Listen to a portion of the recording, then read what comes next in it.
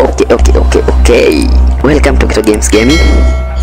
Today I want to show you how to use a cheat engine. Mine is 7.2 I use it to change figures and digit in this game. Okay many a times you playing a game and it's it proves to be so tough on you. Uh, all the pro gamers might might find it simple but there are those who are new in gaming or you might not be new but at times you're tired and you want things to move. So for at least for to make your brain feel successful. So this is where you come in with a cheat engine. So we, i'm going to use my cheat engine today first as i open it. This is my cheat engine. Okay. So these are kits that will help you ease your gaming. It might be also more fun because at least you'll have more resources than the opponents for example is the age of empire.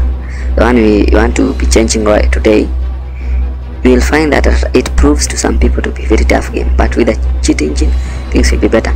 So you swiftly come here. You select on that. It brings you a small dialog box here.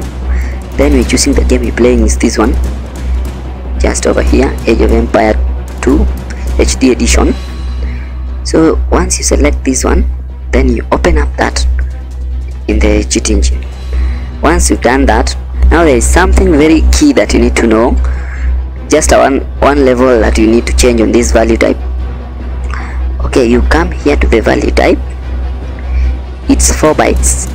Only when you are only when you are changing figures in GTA 2 1 or the San Andreas version the Liberty City that is when you use the 4 bytes. If you are changing GTA 5 you need to use the 8 bytes. But now we are changing Age of Empire. Age of Empire Empire always you, you use float. Doesn't have any byte in the game so you use float. So you come down here then select float. For your for your for your numbers to work in this cheat engine you have to select float. Okay so once you've done that you set all the other settings are okay. There is no need of tampering with any. Okay we, we will be here. Go back to the game. In the game we have so many resources here. Okay, we need to go start the game. We have so many resources whereby these are woods. The others are this is food gold stone and the population. So for you to win this game you need to have a lot of resources like wood gold gold food and stone for you to build up a better empire in this game.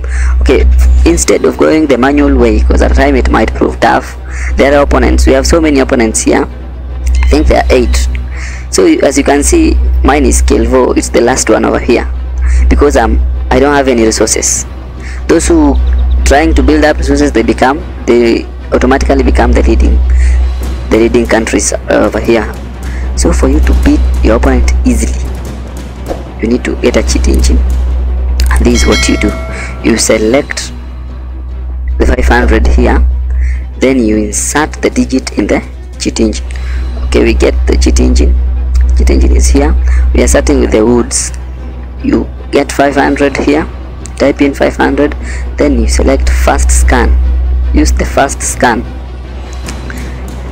Okay it will give you a lot of numbers here numeric and also letters because the game itself has those numbers. They also have other another 500 here. So for you to redefine which 500 are you changing you go back to the game and change your digit to the descending. Use this back to the game. You use this 500 for you to gain a different digit by using here we'll do this. Let us build one one house for us to use that wood. Yeah when they build house you see they've used 20 of the total. So we have no they've used 30 so we have 470 so we get back to our cheat engine. As you can see it's still at 500 now we'll get this. We get it to 470 then you don't choose on the new scan you only choose on the next scan.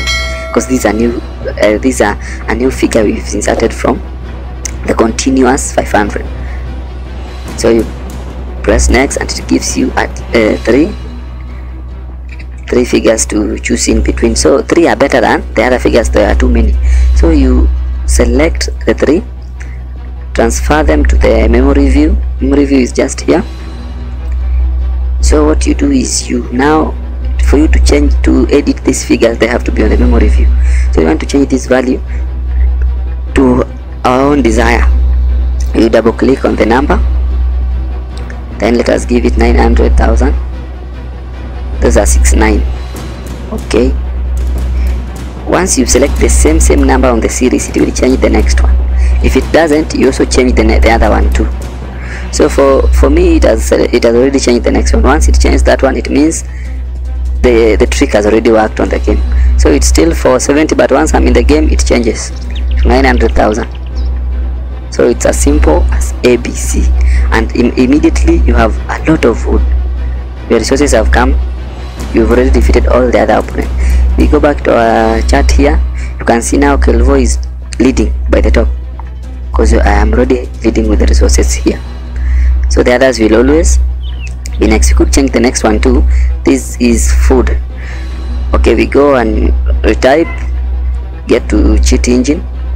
We'll type uh, the food value here it's 500 get this value back here. Then 500 is here. We have to use a new scan because these are new a new resource we are using. We want to get uh, with a new value so 500 new scan then you select first scan.